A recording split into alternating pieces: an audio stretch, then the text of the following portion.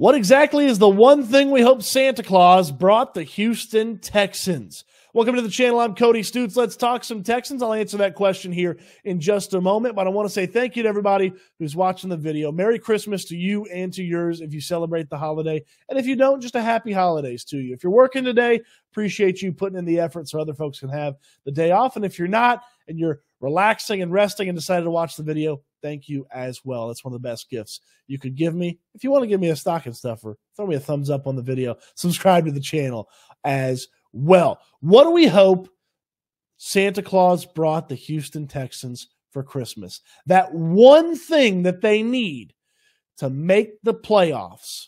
Well, it's a very simple but somewhat complex thing. It's health.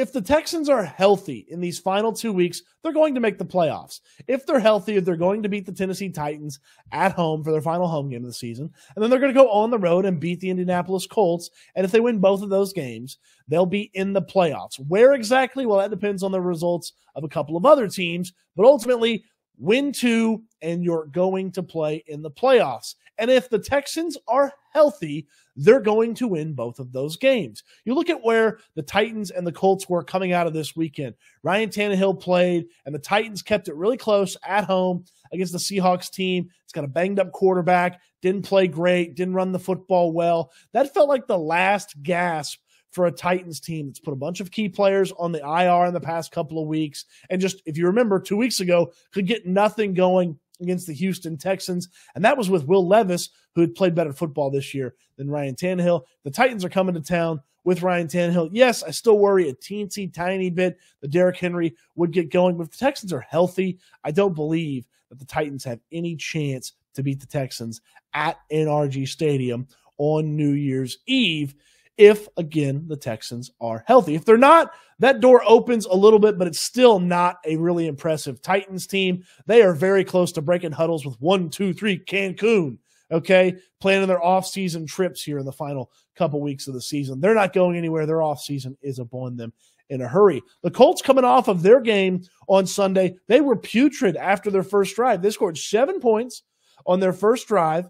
They got a rushing touchdown from Jonathan Taylor, and they scored three points the rest of the game against the Atlanta Falcons, a Falcons team that has been up and down all year long. Now, ultimately, they forced Atlanta to kick a tremendous amount of field goals, but they allowed Gardner Minshew to get sacked six times in that game. They couldn't protect him, they couldn't regularly run the football. Michael Pittman is still in concussion protocol, dealing with some issues. So the Texans, again, are healthy. They should take care of business against the Indianapolis Colts in two weeks uh, in the first game of the 2024 slate for the Texans. So, health. Now, who are the key players that need to get healthy here in the coming weeks? So, the biggest one is CJ Stroud. CJ Stroud has got to clear concussion protocol and play for this team.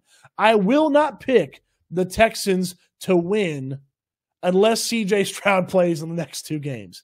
I don't believe in Case Keenum if he starts. And Davis Mills, while I believe he's better at this point than Case Keenum physically, because he can move around a little bit more and he can sling the ball better than Keenum right now, I still don't know that I love the chances of him winning both of those games if CJ Stroud can't play. Now, Reports are from KPRC that CJ Stroud's getting better. DeMeco Ryans revealed that Friday, CJ Stroud was in the building, went to meetings, visited with the team at practice.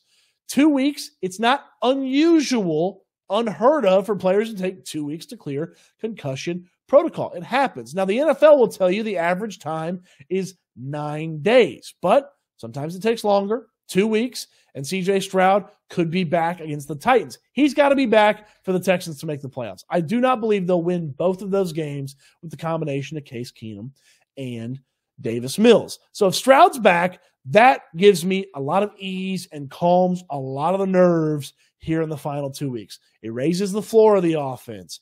It adds a mobility aspect to the quarterback spot where Stroud can move around out of the pocket, escape some of the pressure that the offensive line has been allowing in recent weeks. That is something that Davis Mills, Case Keenum cannot regularly do. And you can just do more with CJ Stroud. He's a better quarterback than both of those guys. But it's not just CJ Stroud from the health standpoint that I'd really like to see the Texans get back. and have available to play in the final two weeks. Two of the defensive linemen, specifically two defensive ends, are really important players in the coming weeks. Jonathan Greenard left the Browns game with an ankle injury. He tested it out for what felt like two quarters on the sideline. Ultimately, he went from questionable to out. That's something that we've got to monitor in the coming weeks. You need Greenard for at least one of these games. And if Will Anderson could come back in one of these two games or for both of these games, the Texans had no pass rush when Jonathan Greenard went out of this game. And I know that they got things going against the Titans a couple weeks ago without Will Anderson, but that's because they had Jonathan Greenard. The defensive tackles, though I like what Ray, Sheldon Rankins and Maliek Collins have put together this season, they can't do it by themselves and they can't do it with primarily backups at the defensive end spot.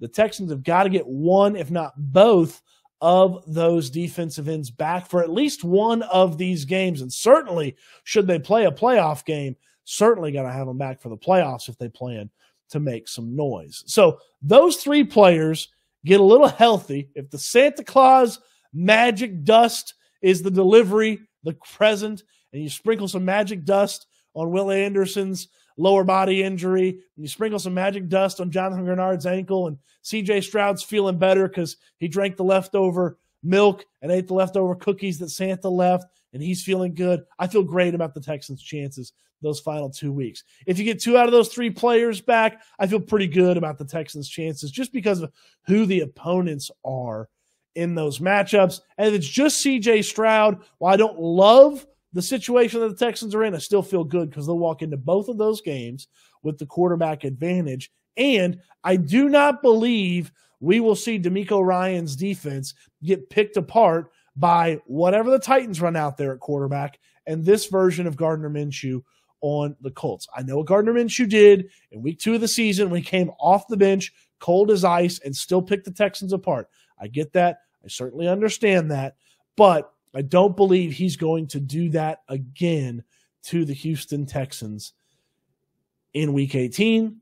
And the Texans with CJ Stroud should be able to take care of the Colts and the Titans with Stroud and one of the defensive ends we talked about. Certainly feel good about it. And if all three of those players, Will Anderson, Jonathan Greenard, and CJ Stroud, are playing, man, go ahead and start trying to figure out the different permutations and opponents for the playoffs could be the Miami Dolphins in Miami.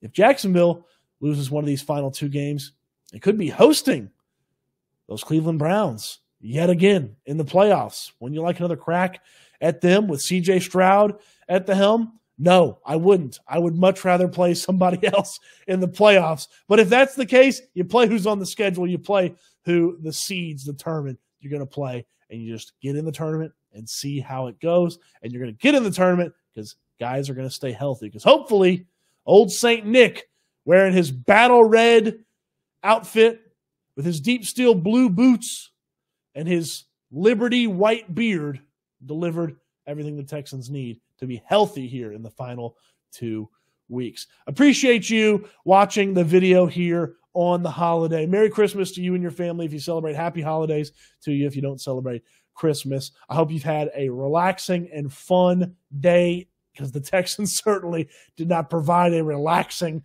and fun game on Sunday. I bet you, though, these last two are going to be very fun football games to watch. And my goodness, here we are in December, less than a week left in the year, less than two weeks left now in the regular season. And we're talking about the playoffs and the Houston Texans. How fun is that? We've got so much more to talk about right here on the channel. So subscribe to the channel. Like this video if you haven't already. Get in the comment section. Let me know what you got for Christmas. Okay? What'd you get for Christmas? Let me know in the comment section. And do you believe that there's something else the Texans need to make the playoffs? Throw that in the comment section too. We stay live in the comment section here on YouTube. Appreciate you watching the video. Hope you enjoyed it. And I can't wait till we talk Texans again soon.